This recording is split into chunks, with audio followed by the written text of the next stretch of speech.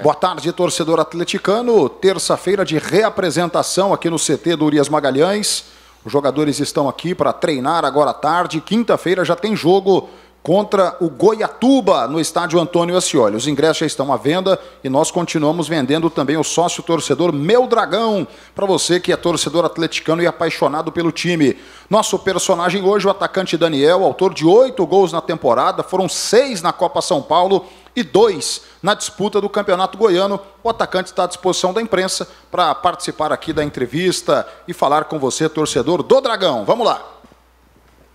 Boa tarde, Daniel. Boa tarde. É, como que você avalia né, esse início de temporada, já esses oito gols, né? Apenas em. Estamos em fevereiro ainda, seis na Copinha, dois no Goianão. Como que você avalia? Se já é o seu melhor início de temporada aí da carreira? É, provavelmente é meu melhor início de temporada né, profissional da minha carreira até aqui. E fico muito feliz, né? 2024, meu 2024 começou com tudo, né? Todo vapor. É, na Copa São Paulo fui muito feliz na competição, consegui fazer seis gols ali em quatro jogos. É, voltei profissional bem também, graças a Deus, e já contribuí com a, com a equipe com, com dois gols. Fico muito feliz por isso. Boa tarde, Daniel, Henrique da Band News FM. Você falou dessa passagem da Copa São Paulo agora para o pro profissional. Eu queria saber como é que foi para você essa, essa mudança, principalmente agora nesse, nesse início de ano, né, que você foi, fez uma copinha muito boa. E essa subida para o profissional agora? É, boa tarde. Pois é, né, desde o do ano passado, né, quando eu voltei de lesão, aí já, já fiquei bastante adaptado né, com, com essa transição da base profissional. É, fiquei sabendo também que eu ia ajudar a minha equipe né, na Copa São Paulo e como eu falei, fui muito feliz lá e já vim bastante focado já no, no, que eu tenho que fazer no profissional, que é ajudar a minha equipe, né, dar alegria para a torcida, fazer gols aí e também ajudar a equipe a conseguir o, o tri, né, tricampeonato goiano. E a gente está tá bastante forte nessa caminhada e se Deus quiser vai dar tudo certo. Ô Daniel, e aqui na, nessa temporada 2024, você teoricamente concorre né, na posição com um jogador que tem um histórico, né, até parece que estão bem entrosados dentro, fora do campo, que é o Love, né, o Wagner. E tem um outro atacante mais ou menos da tua idade, um pouquinho mais velho, com passagem por seleção de base do Uruguai. Como é que você vê essa disputa com um jogador da tua idade e um já, como, como se diz, pode ser professor de vocês? É, boa pergunta, né? É, fico feliz né, por, pelo Atlético né, ter três centravantes, ter três grandes centravantes. Isso é bom para o time, né?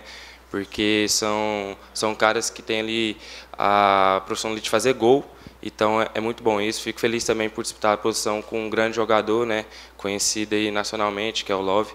É, no jogo passado, né, tive a oportunidade de receber uma assistência dele e a gente disputando posição, jogando junto, a gente ele sempre vai tentar dar o nosso melhor dentro de campo, que é em prol do Atlético, né, em ajudar a nossa equipe. E aí, se vai jogar ou não, aí já é com a comissão, porque elas trabalham com meritocracia, né? Quem tiver melhor ali no momento vai jogar. Então aí já é com a comissão. O nosso nosso dever é ajudar a nossa equipe e ajudar o Atlético. Boa tarde, Daniel. É, eu queria te perguntar como é que está seu seu planejamento para 2024, né? Pensando em toda a temporada, o Atlético com você são três centroavantes. O Adson já disse que que, é, que planeja contratar mais um também para a Série A. Como é que você entende que você pode convencer não só o Jair, mas, mas a direção também que você está ali entre os primeiros nomes? É, boa tarde. É, para convencer o, a comissão, a todo, todo o staff do Atlético, não tem segredo, né? Você tem que manter uma regularidade você tem que estar treinando bem todos, todos os dias, estar desenvolvendo. É, quando você tiver oportunidades nos jogos, você também tem que entrar bem, fazer, fazer o seu ali e ajudar, fazer o máximo para ajudar a equipe, né? E é isso que eu tenho como objetivo, é, sempre manter minha regularidade, desenvolver a cada dia, aprender com, com os meus erros e estar tá ali, né? Ajudar, ajudando o Atlético ali dentro de campo, que é o meu dever. E nessa quinta o Atlético tem um Goiatuba, né? Mais um jogo em Goiânia. É, o Atlético vem de uma, de uma vitória boa como visitante, mas também na capital. E agora contra o Goiatuba, que é uma das, dessas sensações do campeonato estadual, né? Um dos melhores colocados do interior. Como é que vocês estão vendo esse tipo de confronto? Como é que tá, como é que tá sendo essa sequência de jogos, né? É jogo atrás de jogo, jogo atrás de jogo. É, jogo atrás de jogo. Nesse, nessa semana mesmo a gente teve três jogos uma semana, né? Se não me engano. Então é um pouco difícil assim para manter o, seu físico, mas é, a gente não pode colocar isso como desculpa, né? A gente tem que ganhar, é, ainda mais dentro de casa, né? a gente tem que, que manter o favoritismo e, e ganhar e também é, tentar subir na tabela né, e disputar ali na primeira posição. O Daniel, e ano passado né, você teve pouco tempo dizer, de viver essa experiência no Campeonato Goiano. Foi a Iporá, não é isso? Acho que jogou um tempo, né, um pouquinho, voltou, estava fazendo trabalho aqui, infelizmente teve aquela lesão e a cirurgia. Mas assim, que, que, que, que comparação você faz do ano passado para esse em termos de campeonato goiano de amadurecimento para você agora? Ah, sim. É, passou aí um ano e, e, pouco, né, desde a minha lesão.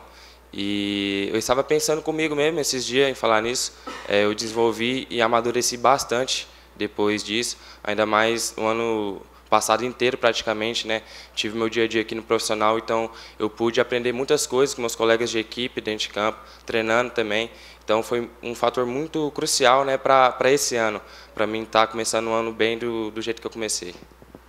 Daniel, você falou dessa sequência de jogos, né? Apesar de ser uma sequência de, um, de, vários jogos em um curto espaço de tempo, não tem aquele problema com viagens longas. Foram quatro jogos em casa, agora o Goiânia também, que não deixa de ser. É, é uma vantagem? Vocês veem como uma vantagem isso? Ou acaba que fica elas por elas, principalmente no estadual? Ah, não, não, não creio que, que é uma vantagem, mas esse, esses monte de jogo nesse tempo curto, né? É, eu acho que é mais uma vantagem para a gente que está no Atlético, porque nossos preparadores físicos é, faz um trabalho muito bom com a gente, né? Vocês podem ver que, que todo jogo a gente está sempre ali pressionando alto, né? E, e sempre no, tentando jogar no campo deles, né? Seja no primeiro tempo ou no segundo tempo. Então, é o único fator que eu acho que é bastante interessante para a gente, né? Que a gente leva um pouco de vantagem é o nosso, nosso físico. Isso a gente tem que, que enaltecer bastante, né? Nossos preparadores aqui do Atlético. E é um confronto direto agora, né, Daniel? Goiatuba vem logo atrás ali, né? O melhor time do interior até agora. Então, passa a ser importante também, até porque se o Atlético ganhar, já garante a classificação com antecedência também. O que, que você tem para falar desse jogo? Ah, é um jogo não muito importante, né? Igual todos que a gente teve, né? A gente tem que pensar no sempre no, no próximo jogo. Então, todos os jogos ali que a gente vai jogar é o jogo da nossa vida, né? E sim, é bastante importante, ainda mais o Guatuba que está ali brigando também nas primeiras posições. E a gente tem que ganhar esse jogo, como que é, como você falou, é um confronto direto. E a gente tem que brigar, né? Para para sempre estar em primeiro ali. E se Deus quiser também já garantir uma classificação. Beleza, Daniel. Bom trabalho para você, bom treino, bom jogo na quinta-feira. Valeu demais. Obrigado, boa tarde a todos. É isso aí, Daniel, camisa 9 do Atlético nesse começo de temporada, foi o nosso personagem de hoje aqui pela Dragão TV e também no Instagram oficial do Atlético Goianiense do Dragão. Valeu, galera!